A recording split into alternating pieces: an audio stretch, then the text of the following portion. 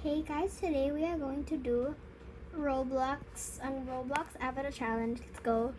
Okay. Put on your put on your put on your favorite pants and go and pick on your favorite click on your favorite click on your favorite hat and click on your favorite hair. And click your most classic face.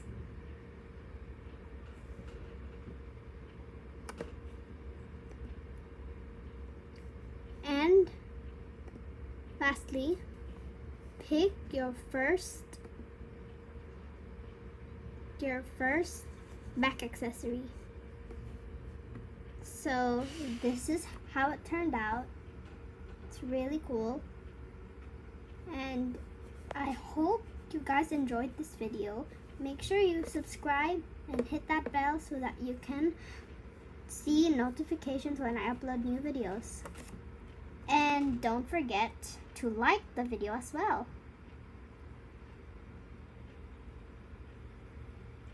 Stay happy and I'll see you in the next video.